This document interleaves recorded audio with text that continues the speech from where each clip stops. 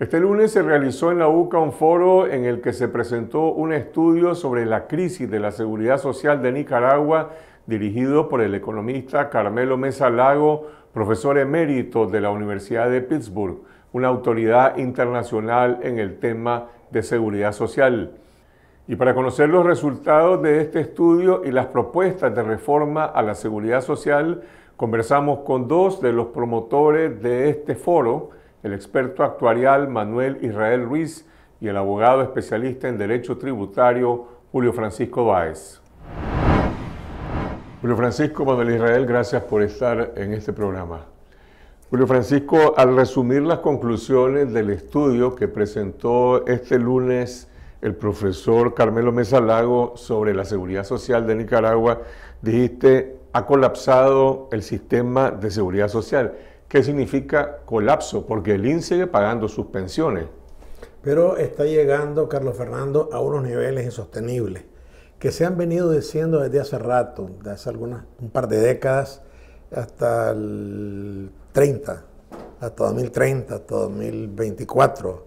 Ya por último en el fondo hasta 2019, hace 15 días vino el fondo y dice, hay que aplicar algunas medidas en el mediano plazo, ya no, ya no pone ya no pone fecha. Efectivamente, la situación, que es uno de los resultados del estudio, arroja evidencias.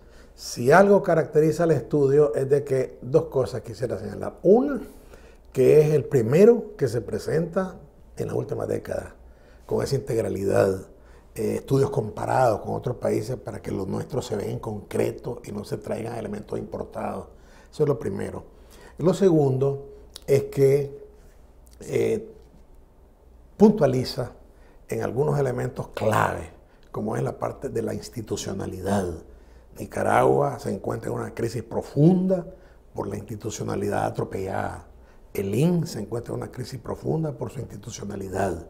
Y ahí aparece, digamos, un elemento clave. Otros que son creativos del estudio del profesor Mesalago y que pues, nos llaman la atención, eh, aparentemente pequeños porque son de profundo significado social. Por ejemplo, habla de la política de género, solidaridad social y política de género. Entonces ya rompe el mito de que eh, estamos en una política de género equitativa, que hay equidad de género. Falso. La equidad cuantitativa. De 20 funcionarios del Ejecutivo de alto nivel, hay 10-10. Eso no dice nada. Lo que él te dice es, hace 25 años aquí había una, una paridad de la población, 50-50 más o menos, hasta hace 15 años. Pero ahora se ha separado esa paridad y son menos las mujeres aseguradas. Y la diferencia es grande entre 55 y 45. Eso tiene algo que decir, el trabajo doméstico, etc. ¿Dónde está hoy la seguridad social? Cuando hablan de colapso, ¿quiere decir eso que es una quiebra técnica? ¿Puede sostenerse si no se toman otro tipo de medidas por un año, por dos años, por tres años? Está colapsado jurídicamente porque el IN realmente se está manejando desde 1993 y fundamentalmente a partir del 2007 de una manera discrecional. A manera de ilustración, no tenemos una ley que regule los derechos y obligaciones de la atención médica. Ahí el paga 8 mil millones de Córdoba y está colapsado jurídicamente porque todas las prestaciones a los asegurados y pensionados se hace discrecionalmente. Está colapsado administrativamente porque los fondos del Seguro Social se deben de manejar actualmente en cuatro grandes paquetes y se está manejando en uno solo está colapsado el seguro social desde el punto de vista de confianza, dado que los empleadores y trabajadores no sienten la confianza, unos para pagar y otros para tener la seguridad que cuando tengan la invalidez, que cuando tengan la vejez o cuando muera, van a recibir una pensión, porque hay una incertidumbre y la sociedad pregunta, ¿vale la pena seguir cotizando? De tal manera que a eso es que yo llamo el colapso ¿verdad? Y se hace necesario realmente construir, realmente edificar un nuevo seguro social en el menor tiempo posible. Vamos a hablar de las propuestas de reforma, pero antes la gente estará preguntando el déficit del seguro social, cuál es su dimensión. ¿El seguro social puede quebrar o puede mantenerse funcionando de esta manera? Perfectamente puede quebrar y esa es la alarma que tenemos que enfrentar, Carlos Fernando. Eh, aquí vuelvo a lo institucional para responder tu pregunta. Valdría la pena considerar, y es urgente, que la institucionalidad desde el punto de vista de la administración, aquí se duplicó el personal de 13% del presupuesto global, de 6% al 13%. Pero eso es una cifra que tal vez no dice mucho. ¿Cuántos, empleados agregó el INS? ¿De qué nivel de calificación?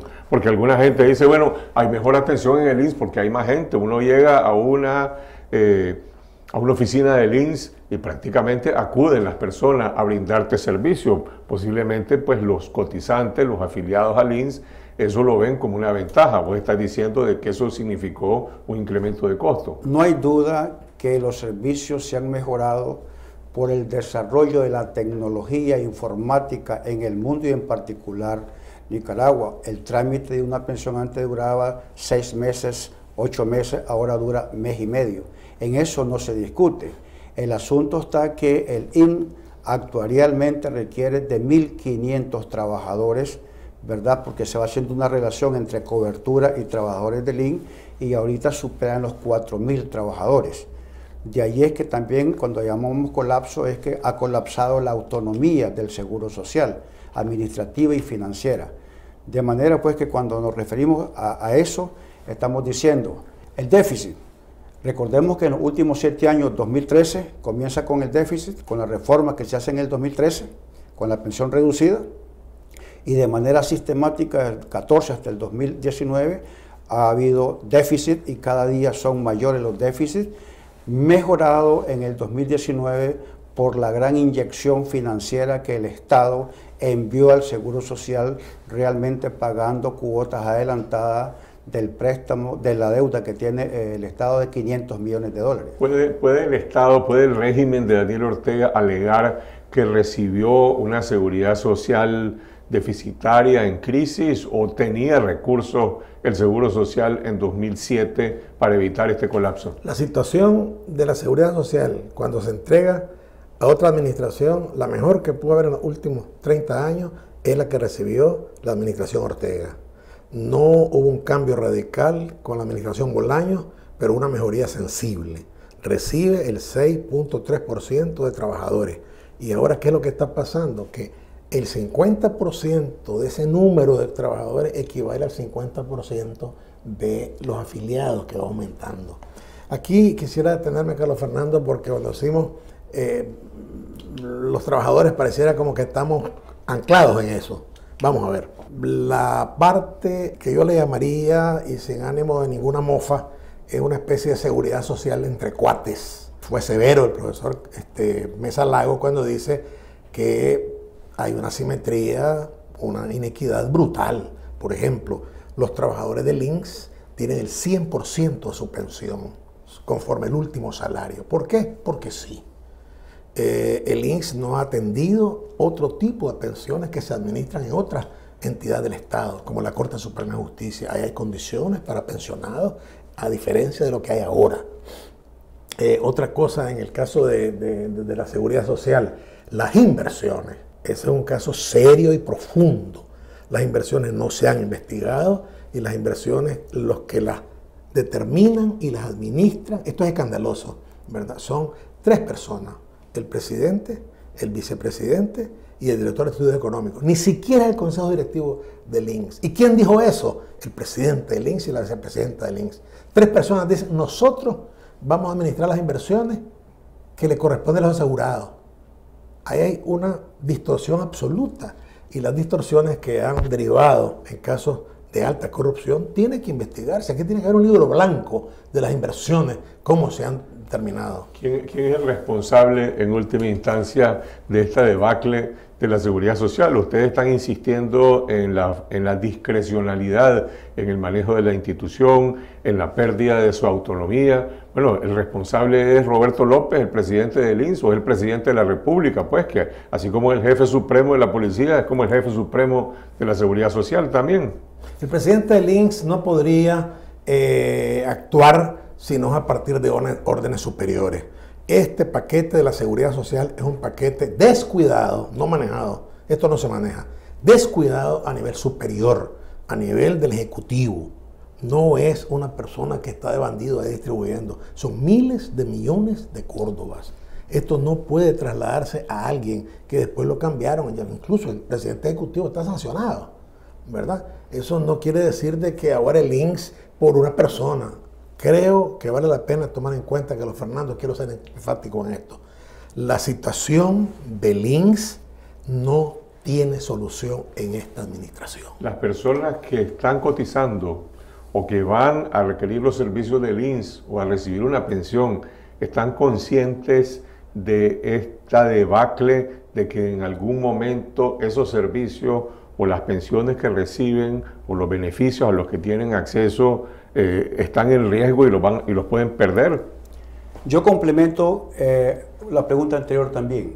En el año 2006, que se está, en enero que se está entregando, había una reserva técnica de aproximadamente 6 mil millones de Córdoba y un superávit anual superior a los 1.500 millones de Córdoba. Es decir, que la solvencia del Seguro Social ya venía desde 1992 hasta el 2006 inclusive de una manera positiva donde no se generaba ningún tipo de déficit. En cuanto a lo que usted pregunta, conviene destacar que hay mucha inseguridad jurídica.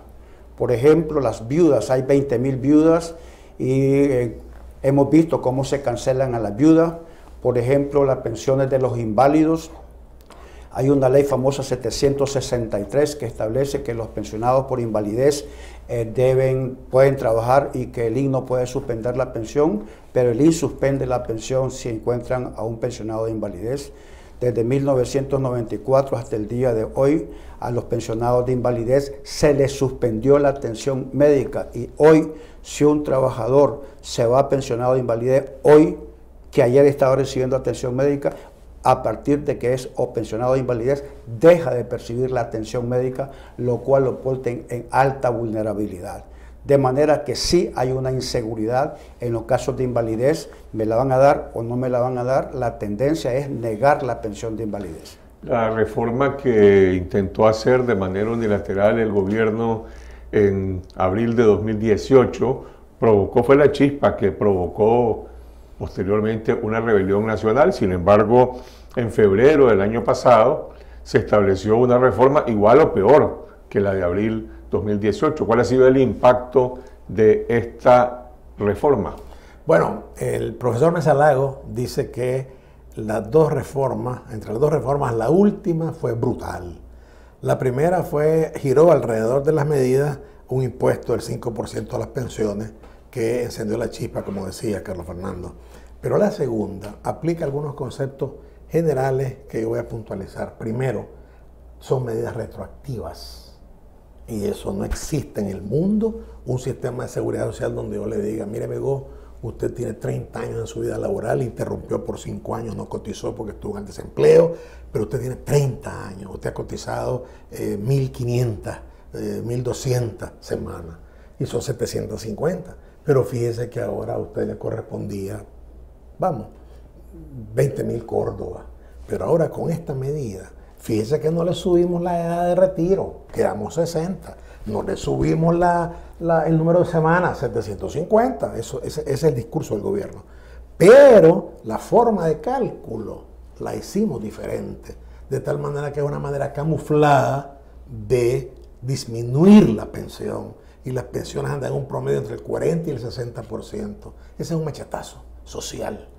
Y eso es lo de la medida, que es muy severo el profesor Mesalago cuando señala de que hay muchos detalles sobre la medida, pero así globalmente esta medida de febrero del año pasado está impactando, ha sido un golpe brutal. Ha tenido un impacto también como relacionado con la recesión económica en las empresas, ha disminuido considerablemente el número de personas aseguradas. Tres impactos enormes ha causado la reforma de febrero del 2019. Si vamos, hacemos un análisis profundo del anuario, encontramos que se desafiliaron un poquito más de 5.000 empresas en el año 2019. Se desafiliaron trabajadores activos de empresas, sin meterlos del facultativo, aproximadamente a 40 mil trabajadores vinculados con las empresas.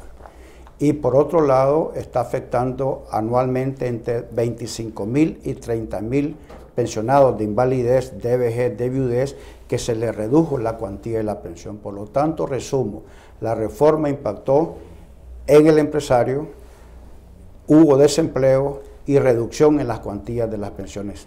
Vamos a las propuestas de reforma. Esta es una papa caliente que este régimen dictatorial le va a dejar a un nuevo gobierno democrático que va a tener que enfrentar el problema de desmontar una dictadura, desarmar a los paramilitares, restituir derechos y, de, y restablecer la economía y además enfrentar el problema del INS. O, o hay algo que se puede hacer ahora, ahora, dentro de esta crisis del régimen de Ortega. Bueno, en esto queremos ser categóricos como lo fue el profesor Mesalago. Es imposible que este gobierno, por su ausencia de legitimidad, tome medida alguna. Lo mejor que podría hacer este gobierno, y podríamos hasta aplaudirle, es que no se meta más a complicar las cosas. Demasiado ha hecho en perjuicio de los asegurados y de los pensionados. ¿Qué pueden hacer los asegurados, las empresas, los cotizantes, los jubilados hoy en este momento? Porque ustedes están hablando de una situación eh, alguna gente podría decir, bueno, eh, alarmista, pero la gente en la calle yo no, estoy, yo no estoy seguro si realmente tiene ese sentido de preocupación, de conciencia sobre lo que están hablando. Bueno, yo aquí quisiera este, cerrar esta reflexión, Carlos Fernando, tuya, después de este momento de, de qué hacer con lo siguiente. Primero, esto tiene que divulgarse, conocerse, explicarse porque si bien no es algo ininteligible la propuesta, es técnica que hay que explicarla. En el seminario participaron, en la conferencia del maestro Mesalao hace 48 horas,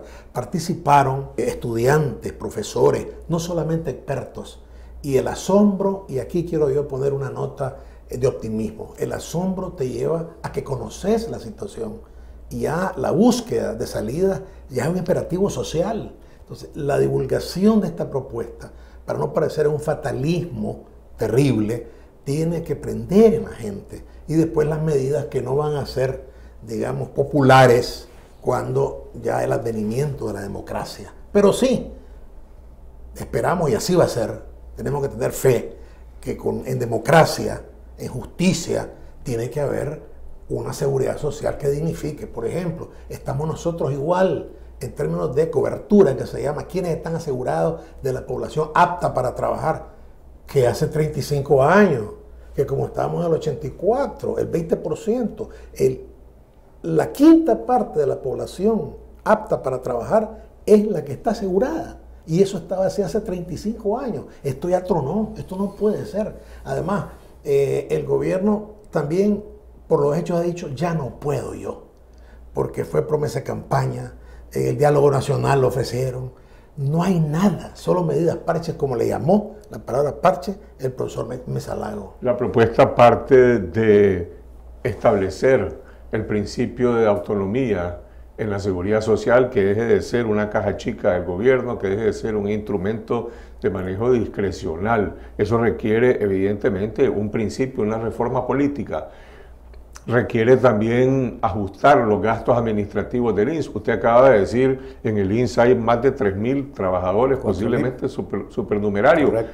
Eso, eso es un problema político. Un nuevo gobierno va a tener que lidiar con esa reforma. Cualquier, Nicaragua es un, un país especial en el mundo en materia de seguridad social. Para que aquí haya una reforma, lo primero que tiene que reconocer el Estado es garantizar el artículo 3 de la ley que dice que el IN es un ente autónomo con autonomía administrativa y financiera. Si no hay eso, no hay ninguna posibilidad de cualquier reforma, colapsa. Segundo, el Estado de manera inmediata debería tomar el financiamiento de las pensiones reducidas que se pagan aproximadamente unos 1.800 millones de Córdoba anualmente, debe ser asumido por las pensiones especiales no contributivas que la ley dice que son a cargo del Estado, pero que son asumidas por el IN, deben ser asumidas por eh, el Estado. Quiere decir el presupuesto de la República. Quiere decir el presupuesto de la República porque en cualquier parte del mundo, aquí nuestro vecino del sur o en cualquier país, se existen las pensiones no contributivas que son a cargo del presupuesto general de la República, porque el Estado tiene la obligación de proteger al más vulnerable que por su eh, nivel de escolaridad, por su trabajo no llega, llegan a 60 años o están inválidos. El Estado tiene esa responsabilidad que en Europa y en América Latina el Estado asume esa responsabilidad, pero no tiene por qué asumir el seguro social. Eso significa, doctor, viendo hacia adelante, mayor presión fiscal es decir, ese presupuesto que ya está, digamos, eh, sobrepasado con los requerimientos y necesidades de eficiencia, va a tener que asumir esas pensiones y eso es otra responsabilidad. Salta el profesor Mesalago y dice, curiosamente, que un estudio de seguridad social no lo habíamos visto nosotros por años. Y dice, señores, revisen, muchachos, las exenciones y exoneraciones, porque trasladarlo al Estado es sencillo, pero que el Estado, como también está la economía, en una situación de colapso superior, llamémosle, ¿verdad? Tiene que agenciarse recursos y hay una situación de inequidad fiscal en Nicaragua. Y dice algo más. Aquí evito que se me salga el abogado, pero es imprescindible, como lo mencionó el profesor. Aquí existen 500 disposiciones que norman la seguridad social en Nicaragua. Es un galimatía jurídico, decía él. Esto es una profusión de cualquiera que legisla. 30 leyes, 60 reglamentos, disposiciones. A 500 llegó, y así lo menciona en el estudio, 500 disposiciones. Tiene que haber un orden. Aquí las inversiones tienen que ser sagradas y reglamentarse. Los derechos no es cualquiera que ella le dice, ve, borro, ya no te voy a pagar 20 mil pesos, es 10 mil. la institucionalidad tiene cimiento, cimiento jurídico, base jurídica, y desmantelar todo esto. Incluso él dice, deroguen ya lo de 2019 para comenzar ya. Esto es lo primer, el primer cambio que van a hacer. Le preguntaron a él una anécdota rápida. Derogar el decreto de 2019. De 2019, deroguenlo ya, para comenzar. Le preguntaron, profesor, ¿y usted eh, qué haría si lo, se nombra un nuevo gobierno, lo nombra usted eh, director, presidente del INSS? Entonces dice el profesor, miren, yo tengo 85 años, dice, yo, pero podría ser que una semana yo tomé algunas medidas de orden que están en el estudio. Conclusión, el estudio es una herramienta, no es algo sublime que ahora con esto cambió Nicaragua, pero sí da herramientas como antes no se habían dado, producto del estudio de este señor y de los técnicos eh, nicaragüenses que han participado. Son decisiones políticas. Está la agenda de reforma de la seguridad social en el imaginario nacional, en el proyecto de cambio político de este país, en las propuestas que han presentado, por un lado, la Alianza Cívica, la Unidad Nacional Azul y Blanco,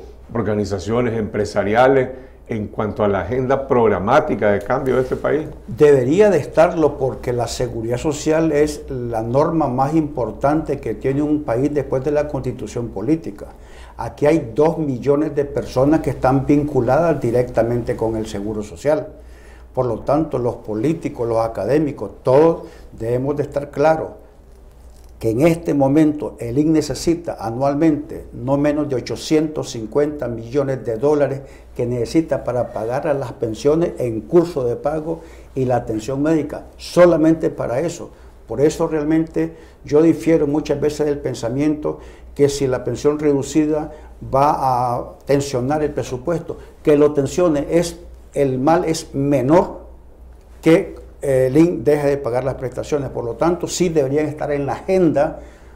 Punto número uno, debería ser para sensatamente, debería ser que la seguridad social sea el punto primero después de los problemas políticos, pero el seguro social es un tema que atañe a toda la sociedad. También agregamos, Carlos Fernando, también agregamos nosotros en el evento y decíamos que, eh, pues un poco jocosamente, pero no menos cierto, hay de una coalición que no toma en cuenta esto. No por ser la, por la ley ya, pero sí por una motivación para el debate, la polémica. Aquí hay ideas y en Nicaragua necesitamos propuestas para el futuro. Y esta es una de ellas que hay que tomarla en cuenta, pero no puede obviarse. Y así todos tenemos que proponer. Esa es la responsabilidad, esa es la responsabilidad digamos, de los eh, líderes que están promoviendo una agenda de cambio político. Ahora, los ciudadanos autoconvocados que salieron a protestar el 18 de abril, el 19 de abril, y que de la protesta por la seguridad social pasaron a reivindicar libertades, a rechazar la represión.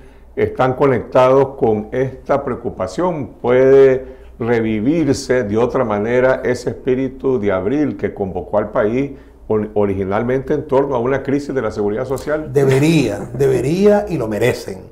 La población lo merece, los muchachos lo merecen, nuestros muertos lo merecen. Esto tiene que salir, tiene que prender.